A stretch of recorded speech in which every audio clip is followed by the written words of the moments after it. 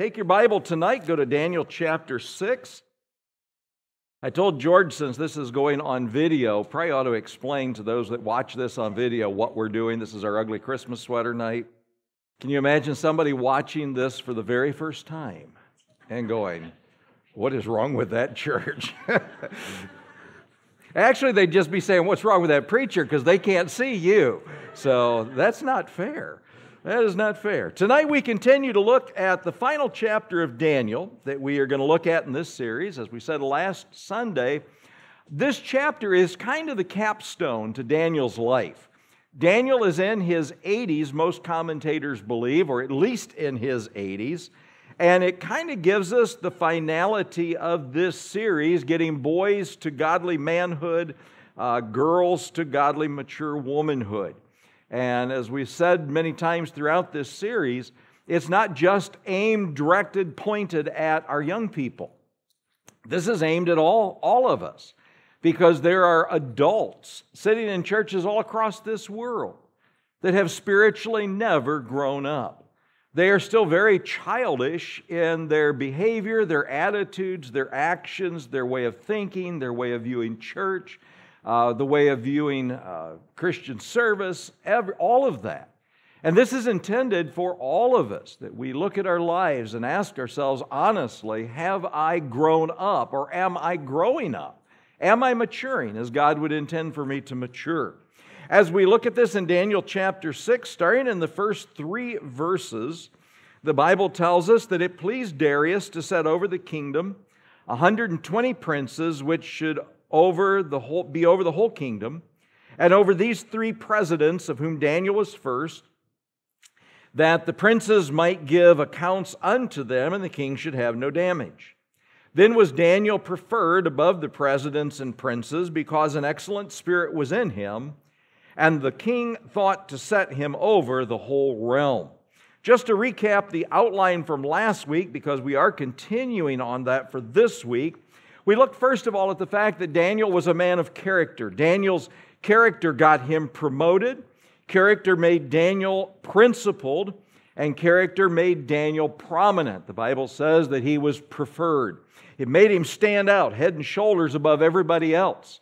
In chapter 6 and verse 4, then the presidents and princes sought to find occasion against Daniel concerning the kingdom, but they could find none occasion nor fault. For as much as he was faithful, neither was there any error or fault found in him. The second part of your outline not only was Daniel a man of character, Daniel was also a man of consistency. This is where we ended last Sunday night. Before I remind us of this point, I found it kind of interesting. I looked up the definition of consistency in the Webster Dictionary. The third entry in Webster's dictionary for a definition is this showing steady conformity to character, profession, belief, or custom. Showing a steady conformity. That is exactly, exactly what Daniel did as a consistent Bible character. Daniel's character didn't waffle, he was consistent in his faith and in his practice. Because of that, we saw last week that the lost are looking for ways to condemn us. The lost were looking for ways to condemn Daniel. The lost people looked for ways to condemn the Lord Jesus. Turn in your Bibles to Proverbs chapter 14. It, it might be surprising for us to think about, but really, the world does not want consistency. The world wants situational ethics. The world wants to do whatever feels good to them at that particular moment and that's going to change. That kind of thinking is going to change with whichever way the wind is blowing, whatever way that um, society is going at that particular time. But the Bible says in Proverbs 14 12 that there is a way which seemeth right unto a man, but the end thereof are the ways of death. Man wants to do his own thing in the moment. Consistent character says there is an absolute right and there is an absolute wrong. Do we realize that tonight, Christians? That God is a God. Our God is a God of absolutes. He is a God of absolute right. He is a God of absolute wrong. He is a God of consistency. God never waffles in what He tells us, nothing changes. He is the same yesterday, today, and forever. You and I, as believers in Christ, we have got to have this same characteristic of consistency in us. And when we do, the lost are going to look for ways to condemn us. It's because they're convicted of themselves. The second truth, though, is this don't give the lost world reason to condemn Christianity or to blaspheme Christ. Don't give the lost world reason to condemn Christians or to blaspheme Christ. Take your Bible, keep your marker there in Daniel chapter 6. Go to 1 Peter chapter 2 with me. Don't give the lost world reason to condemn Christians or to blaspheme Christ. 1 Peter chapter 2 verse 12. In 1 Peter chapter 2 and verse 12, Peter says this, having your conversation honest among the Gentiles. The word honest uh, simply means honorable. Have your conversation honorable among the Gentiles that whereas they speak against you as evildoers, they may, by your good works, which they shall behold, glorify God in the day of visitation. Go to the book of Titus, back to the book of Titus, chapter 2. Titus chapter 2, and look at verses 7 and 8. In Titus 2, verses 7 and 8, the Bible says, In all things, showing thyself a pattern of good works, in doctrine, showing uncorruptness, gravity, sincerity, sound speech that cannot be condemned, that he that is of the contrary part may be ashamed, having no evil thing to say of you. Don't give the lost world reason to condemn Christians or to blaspheme Christ. We are not handing the world the gun. The world is wanting to condemn Christians. They are wanting to prove us to be a bunch of hypocrites. The problem is that Christianity, many Christians hand the world the bullets. They give them the ammunition to fire at us and, and, and to say, see, you guys really are hypocrites. How many ministries have been destroyed? How many ministers have been destroyed through scandals, greed, affairs, avarice, or whatever kind of vice there might be. Uh, these ministries are places that preached consistent Christian character. They preached integrity. They encouraged the people to have it, and yet the ministry fell apart because of some sort of a, a moral flaw, some sort of a, a disruption in character. And the entire ministry comes down. And what does the world say? The world says, Look at all you Christians. You're all the same. Is that true? Of course not. But we get thrown into the same category. Compromising, worldly, unseparated, professing Christians work elbow to elbow with people every day. Let me ask you a question. How many of you, wherever you work, you say, I don't work, I'm retired. Okay, but you still go places as a retired person. You go shopping. You've got groups of people that you hang out with. How many of those, how many of you can say that those that you are around know that you're a Christian? Would you put your hand up, please? They know it. Okay. All right. Now, here's the question What does it say when those who profess to be Christians cuss like everybody else? What does that say? When you tell dirty jokes or off color jokes filled with innuendo?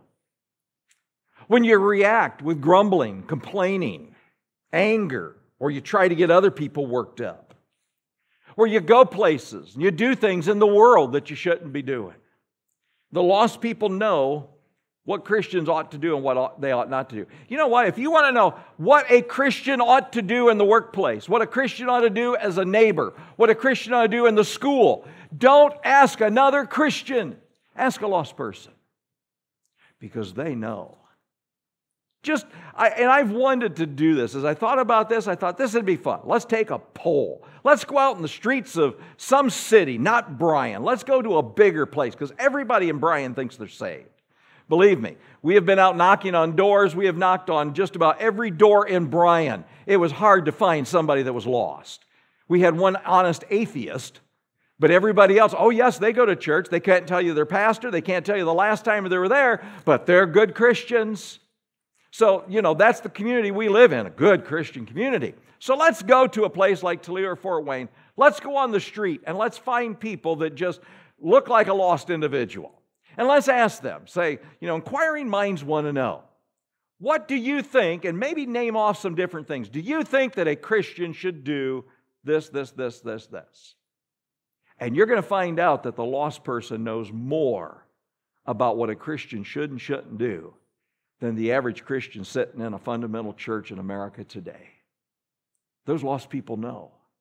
So, you and I, as believers in Christ, we have got to have the kind of character that is consistent with the Word of God. It's not because they are telling us that we should or shouldn't do this. And by the way, if the lost are looking at us and saying, well, they really shouldn't do this, that, or the other, and we do it anyway, you say, but there's nothing wrong with it. But we do it anyways. What have we done to our witness? What have we done to our testimony? How can we go and share the gospel with them when they know or they think they know that a Christian shouldn't do it? Well, I've got liberty, I've got grace. We care more about our rights than we care about a lost person. In the average church today, we want to do what we want to do. And we're not that concerned that there are lost people out there dying and on their way to an eternity in hell. And we have got to be the example, the purest possible example that we can be of what a child of God ought to be like. When David sinned with Bathsheba, God told David this message through his friend Nathan. He says, Howbeit, because by this deed thou hast given great occasion to the enemies of the Lord to blaspheme. The child also that is born unto thee shall surely die. David's sin with Bathsheba has caused the enemies of Israel to blaspheme God. Do we, can we see that our sins do the same thing? We give the lost world an opportunity to blaspheme God. And we can't do that, Christians. Daniel wasn't this kind of a guy. No, he wasn't sinless, he wasn't perfect, I am sure that there are things in Daniel's life that when we get to heaven, we can say, okay, Daniel, all we had was one book that told us about you. Tell us what areas of your life that God dealt with you on when you was a young man and when you was a middle-aged man and when you got to be a really old man. What were some things God was working on your life? It'd be interesting to find that out. But as we see Daniel and we see what was recorded of him, Daniel is living out his testimony. Christians, this evening, can we say that we are living out our testimony? Are we making sure that we don't give any lost person legitimate reason to question or to blaspheme our Savior? Are we making sure that we are living right, pure, holy, clean lives? Though they may accuse us of wrongdoing, that they may be ashamed because it's a false accusation. They brought up false accusations about Jesus. It was kind of funny because when you read how they tried to get people to make these false accusations about Jesus, you couldn't get two of them to agree. They couldn't even get their stories straight. That's how you know it's a false accusation, don't you? And so somebody may come against you and make a false accusation and say, But I didn't do anything, and I know I didn't do anything. That's good. Don't give them the ammunition. You can't stop somebody from making a false accusation about you. All you can do is make sure that they have nothing to base it on. And that's all that we can do. Here's something else about Daniel. Go back to Daniel chapter 6. Look at verse 4. Daniel chapter 6, verse 4. Again, it says, The presidents and princes sought to find occasion against Daniel concerning the kingdom but they could find none occasion or fault, for as much as he was faithful. Daniel was faithful. We talked about this a few weeks ago. The word faithful means he was trustworthy. Daniel had integrity. He was so trustworthy in the kingdom that he was able to be elevated to essentially second in command. He was so trustworthy in the kingdom that the only way the guys could trip him up was by catching him doing something against his God because they knew he wasn't doing anything against the king, regardless of who the king was, whether it was Nebuchadnezzar, whether it was Cyrus, or whether it was Darius. He wasn't doing anything against the king. So we're going to have to catch him violating his own code. We're going to have to catch him violating his own God. Turn in your Bible to Mark chapter 3. Again, This is exactly what people tried to do to Jesus. In Mark's Gospel, chapter 3, verses 1 through 5, Mark chapter 3, verses 1 through 5, the Bible says here, And he entered again into the synagogue, and there was a man there with a, that had a withered hand. And they watched him whether he would heal him on the Sabbath day, that they might accuse him. Now, go back into the Old Testament. Who established the Sabbath?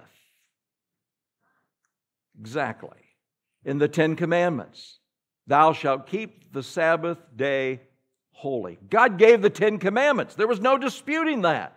Now, Jesus claims to be not only Son of God, but he also claims to be God.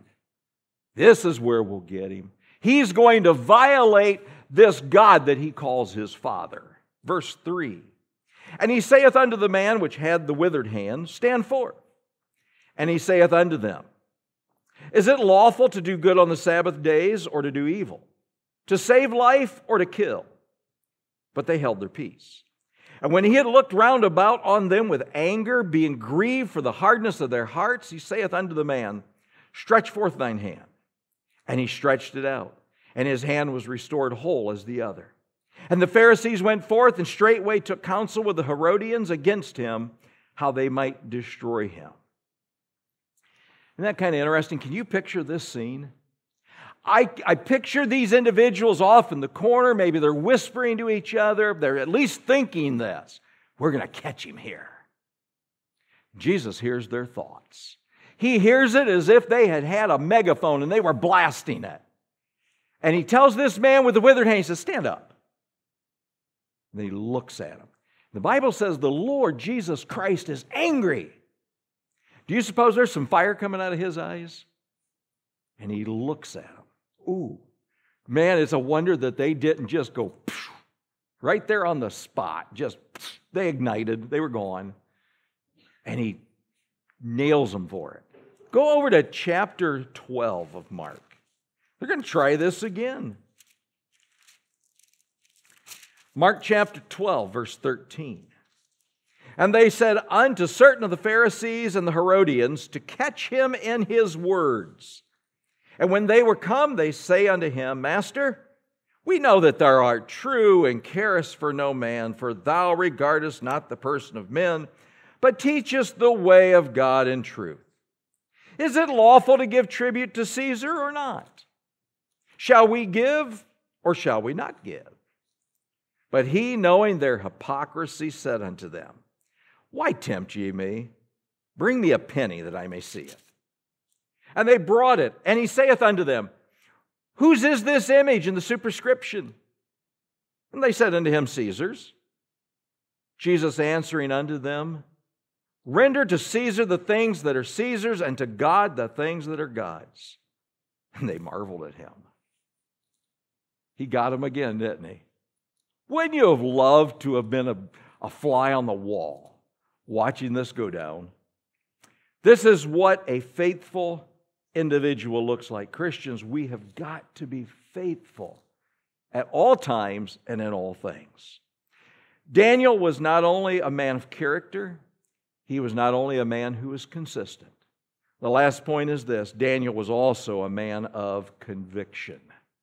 He was a man of conviction. Let's go back to the book of Daniel.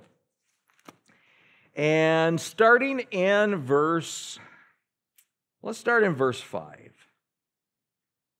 Daniel 6 and verse 5 Then said these men, We shall not find any occasion against this Daniel, except we find it against him concerning the law of his God. When these presidents and princes assembled together to the king and said thus unto him, King Darius, live forever. All the presidents of the kingdom, the governors, the princes, the counselors, the captains have consulted together to establish a royal statute and to make a firm decree that whosoever shall ask a petition of any god or man for 30 days, save of thee, O king, he shall be cast into the den of lions. Now, O king, establish the decree, sign the writing that it may that it, it be not changed according to the law of the Medes and Persians, which altereth not. Wherefore King Darius signed the writing and the decree. And when Daniel knew that the writing was signed, he went into his house, his windows being open in his chamber, toward Jerusalem. he kneeled upon his knees three times a day and prayed and gave thanks before his God, as he did aforetime. Daniel was also a man of conviction. Those last four words, as he did aforetime. This was something Daniel did on a regular basis. Three times a day, he would go to his upper room. He would throw open the windows. He would face out to where Jerusalem, the holy city of God, in that direction. He'd get on his knees and he prayed. This was not something that Daniel was doing to be defiant or rebellious. He was not trying to make some sort of a political statement. He wasn't trying to get anybody's attention. He was just a man of conviction. Charles Stanley gives a definition of convictions that I thought was really good. He said a conviction is a solid, immovable belief based on confidence in God's Word. Being so thoroughly convinced of its absolute truth that we are willing to take a stand regardless of the consequences. Convictions shape not only what we believe, but also how we live and how we die. Can tonight we say that we are men and women that have convictions and that we will not bend for those convictions? Take your Bible and let's go to the book of Acts, chapter 4. Acts chapter 4. Starting in verse 1, the Bible says, And as they spake unto the people, the priests and the captain of the temple and the Sadducees came upon them, being grieved that they taught the people and preached through Jesus the resurrection from the dead. And they laid hands on them and put them in hold unto the next day, for it was now eventide. Howbeit, many of them which heard the word believed, and the number of men was about 5,000. And it came to pass on the morrow that their rulers and elders and scribes, and Annas the high priest, and Caiaphas, and John and Alexander, and as many as were of kindred of the high priest were gathered together at Jerusalem. And when they had set them in the midst, they asked, By what power or by what name have you done this? Then Peter, filled with the Holy Ghost, said unto them, Ye rulers of the people and elders of Israel, if we this day be examined of the good deed done in the impotent man, by what means he is made whole, be it known unto you all and to all the people of Israel that by the name of Jesus Christ of Nazareth, whom ye crucified, whom God raised from the dead, even by him doth this man stand here before you whole. Jump to verse 15. They kept right on preaching to the council. It says, But when they had commanded them to go aside out of the council, they conferred among themselves, saying, What shall we do to these men? For that indeed a notable miracle hath been done by them, is manifest to all them that dwell in Jerusalem, and we cannot deny it. But that it spread no further among the people, let us straightly threaten them, that they speak henceforth to no man in this name. And they called them and commanded them not to speak at all or teach in the name of Jesus. But Peter and John answered and said unto them, Whether it be right in the sight of God to hearken unto you more than unto God, judge ye. For we cannot but speak the things which we have seen and heard. You go over to chapter 5, another situation happens, very, very similar. And the Bible tells us that they continued to speak in the name of Jesus, even though they had been told, don't do it. Why? Because they have convictions. Story is told one time that P.T. Barnum uh, Barnum and Bailey Circus invited Charles Haddon Spurgeon to speak in a large tent, and uh, he would set the traveling circus aside, but you can come and you can speak. He made every concession possible to make this offer attractive to Spurgeon.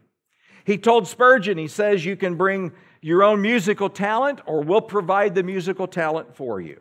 He says, We're going to provide all the equipment, all the manpower that you possibly need. The only stipulation that was given to Spurgeon was this Barnum Circus Association would take the gate receipts and pay Spurgeon $1,000 per sermon. Now, back in the 1800s, even in this day, $1,000 per sermon? That's pretty good, wouldn't you say? Back in the 1800s, that was incredibly stinking good. And we will pay you $1,000 and we'll take the rest of the receipts. Knowing it's going to be wrong to join hands with the world, Spurgeon sent this reply to Mr. Barnum Dear Mr. Barnum, thank you for your kind invitation to lecture in your circus tents in America. You will find my answer in Acts chapter 13 and verse 10. Sincerely yours, Charles Haddon Spurgeon. If you would, turn your Bible to Acts 13:10 and let's read the response that hopefully Mr. Barnum saw. Acts 13 and verse 10. And said, O full of all subtlety and all mischief, thou child of the devil, thou enemy of all righteousness, wilt thou not cease to pervert the right ways of the Lord? Ouch. Well, that wasn't very nice. I bet P.T. Barnum was offended. You know, take your little wimpy ways and go on. This was a man of conviction. This was a man that could not be bought by the world. He was not going to sell the Lord's ministry for $1,000 per sermon and allow P.T. Barnum to rack in the rest of the proceeds. It wasn't going to happen. That's what conviction is all about. This, this evening, if you don't stand for something, you fall for anything, is how the old saying goes, and it's 100% true.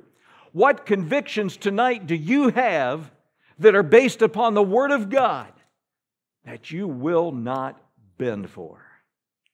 If you were told, don't pray, would you still pray? If you were told, don't read your Bible, would you still read your Bible? Public school systems had prayer and the Bible taken out. You know what? There is no reason any child cannot take their Bible to school. None whatsoever. The, the world has got us thinking that that can't happen. Now, can a teacher stand up and lead a, a recitation out of Scripture? Um, there are ways around it, but yeah, they can get away with it. There are ways to do it. They just have to be willing to fight the battle. And let me tell you, so long as there are tests in school, prayer will always be in school. So you're not getting prayer out of school. You look at the individuals that have fought when, when uh, a coach or whatever has knelt on the 50 yard line, or they've, they've prayed, or they've prayed around the flagpole and stuff like that, folks. That stuff can go on in the school system, and it needs to. And we need to stop allowing the world to tell us what we can and can't do. Is it going to create legal battles? Yes. There was a fire department in the state of Ohio that had a nativity scene. The nativity scene had been donated. They've had it for 20, 30 years, and they put it up every year. Somebody from the Freedom of from Religion group uh, sent a letter and, and started all this hoo ha about, oh, it's just terrible, you can't do this, and everything else. And the fire department took it down. Now, wait a minute. They didn't have to do that. City ordinances said what they needed to do was add all the other stuff to make everybody happy. And you say, well, yeah, but you could just have your whole front yard cluttered up with junk. You're right, but it didn't say how big the junk had to be. Oh, I'd put up a Santa Claus that you had to find with a microscope. I'd put out an inflatable Santa. You won't see it, but I'll put it up. And I'll guarantee you that nativity scene would be front and center with the lights on it and everything else. And if they came back and they said, Well, you got to have this stuff, we do. It's not my fault you didn't look. It's there. Somebody's got to be willing to stand up and fight. Somebody's got to have some conviction. Somebody's got to say, I'm, st- I'm tired of the world rolling us over. I'm going to stand. I'm going to be counted. You know what, folks? Write a letter to the city of Bryan's council, thanking them that we still have a nativity scene. Because the direction the council's going, I don't know how much longer we'll have it. And I would suggest you send them a letter telling them how much it's appreciated. I would suggest every church in Bryan send them a letter telling them how much it's appreciated. And it's not hidden, by the way, it's in a fairly prominent spot. They could put it on the backside over by the theater, over on the uh, south side, nobody's going to see it there, or very few. They got it right out so you can see it off of State Route 15 running through Bryan. Thank the city of Bryan for doing that. Tell them how much you appreciate it. Convictions. Do we have any? Do we have that kind of consistency? Do we have that kind of character? Christians, tonight, if we want to be the, the mature, godly men and women that we ought to be, then we've got to have these things. And if maybe the Lord's working on you in some areas of these things we're talking about, then bring them before the Lord. Bow your knee at His altar tonight. Just say, Dear God, help me. Maybe you're here tonight and you don't know the Lord Jesus Christ as Savior. You say, Well, what does any of this have to do with me? Nothing. This is for Christians. This has nothing to do with you. And in fact, I would say tonight, you may look at this and look at these points and say, Oh, I've got character. I'm consistent. I've got this. I've got that. And you're trusting those things. No. Because character and consistency and convictions doesn't get you to heaven. It's Christ that gets you to heaven. You must be born again. And these things come after you know Jesus Christ as Savior. But if you're here without the Lord as your Savior tonight, this needs to be the night of salvation. This needs to be the night that you give your heart and your life to Jesus. Christ died for you, paid the price of your sins, arose from the grave. There's nothing left for you to do but to receive Him as your Savior. Would you do that tonight? Stand with me, please, as our heads are bowed and our eyes are closed. Our Heavenly Father, thank you. Thank you, Lord, for Daniel. Thank you, Lord, for the godly man of character that he is. And I just pray tonight that as believers that we would look at our own life to see whether or not we have grown up like we should or whether we're still stagnant, still immature, still floundering, tossed about by every wave of doctrine. Lord, tonight we want to pray also for that lost soul. This needs to be the night of salvation for them. And so we pray, Lord, that you'd have your will, have your way with them, that this might be the night of salvation. And we pray and ask it in Jesus' name.